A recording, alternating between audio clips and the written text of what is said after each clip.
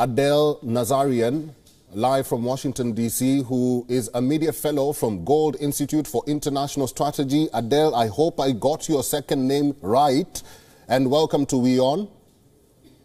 Thank you so much. You did. so there's so much that has been talked about and discussed in this uh, second State of the Union address.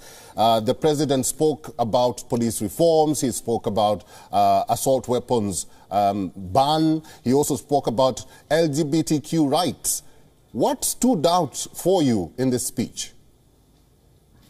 I will say a lot of things stood out. A lot of um, fact checking will be taking place. I'm certain if it already hasn't, some inaccuracies, some blaring inaccuracies, of course, and some accuracies. But I think what was very interesting was during uh, the version that I watched on um, C SPAN, once the president brought up LGBTQ rights, they immediately panned to Senator Ted Cruz, a former mm-hmm. presidential candidate, and he had a look of absolute outrage on his face, as did many, as did many of his Republican colleagues. Um, so I, I, definitely sense, despite the fact that in the beginning of his speech there was a very, very warm sense of uh, camaraderie amongst attempting to have bipartisanship with his uh, ode to the new House Speaker Kevin McCarthy, Perhaps what we'll see is there were many concessions made behind closed doors, which will come to fruition once we see that the Republicans who are now in the majority of Congress, um, how they will be able to uh, navigate the entire uh, political system regarding the divisiveness that exists. What also stood out to me, however, was that there was a lot of heckling going on and booing when it mm-hmm. came to mention of uh, claims that Republicans were trying to cut Social Security and Medicare, which Speaker McCarthy clearly said was not going to occur. And uh, I, I, just don't know that there's necessarily going to be a as much consensus and cross partisan, sorry, uh, unification across party lines so as maybe think, was.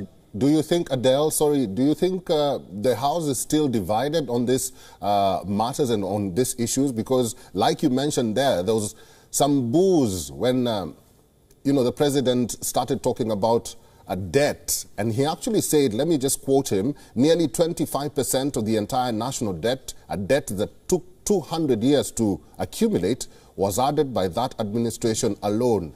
And by that administration, he means the Trump administration. What do you think um, is going to happen next now? Because there was this clarion call for unity in the House, but do you think that is going to happen anytime soon? Well, I think it's very interesting. You accurately noted a clarion call is what it was. Um, one of the things that was also blaring to me was the attempt to blame the January 6th insurrection, which was a bunch of radicals that stormed the Capitol, on the attack on Paul Pelosi. Um, and I think that was a bit far fetched. Of course, many in the American audience hopefully will do their fact checking and know that was completely isolated, and nothing to do with that.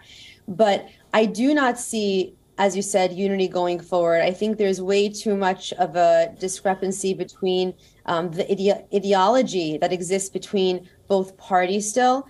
And there has to first be truly a level setting and a coming to uh, you want to call it a coming to Jesus moment, a coming to God moment, whatever you want to call it, coming to Allah moment, mm-hmm. um, that people have to realize the truth and first come to facts with the truth before they can they can uh, proceed. And unfortunately the truth has not always been the mechanism with which um, politicians like to operate. But hopefully and trustfully the media can do its work and its true um, mission which is to report the truth. And I, I hope to see more of that including fact checking. Right. Um, I'd also like to point out quickly that um, Chuck Schumer is the Senate Majority Leader. Finally, Adele, I know, I know, I know you had to brought, bring bring that up, but uh, it's okay, it's fine. Let's just move on from that. Uh, finally, I Absolutely. just want to, ask, to ask you: much of Biden's to-do list will not get done in the Congress. Do you think? Do you believe that? No, I think that frankly, it's very difficult to achieve everything on a commander in chief's list. Any commander in chief, I'd say, that will achieve historically maybe about 40%, 30% or 40% of what they've said they will accomplish is is pretty um, massive. To, to also reference your previous point, um, that the, the burden, a financial burden, was placed on the U.S. because of the previous administration. Every new administration, subsequent administration, inherits the, the burdens and, and the debts of the previous administration. So it's a constant cycle. So you can't place the blame on one president in particular. But we will see in the next administration, for example, a lot of the same decisions that were made under this current administration will be adopted as burdens for the for the incoming administration in 2024. And I don't necessarily think that it will be a lot of positives, to be frank with you, but positives and negatives alike. Um, I, I, will, though, make a, a, call to this. I will commend the attempts at bipartisanship by, by giving a shout out to President Bush for his incredible um, work in combating the AIDS uh, epidemic.